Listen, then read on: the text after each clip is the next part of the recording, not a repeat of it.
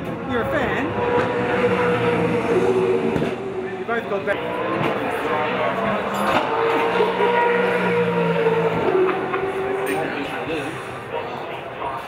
He's a happy man. Yeah.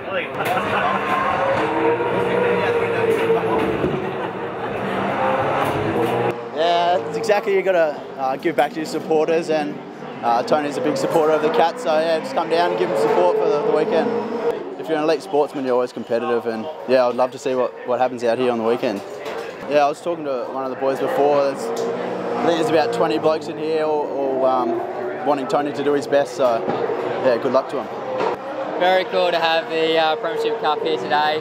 Um, big Geelong fan, so uh, you know I watched their grand final win.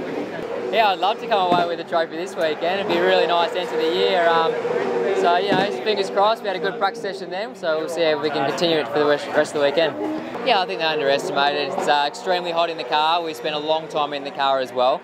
Uh, you know, our race is you know 80 laps long and uh, you know hour and a half in the car, so it's uh, extremely hot. So you sweat a lot and lose a lot of fluid. So although it's a different fitness to playing football, you still have to be at a very high level.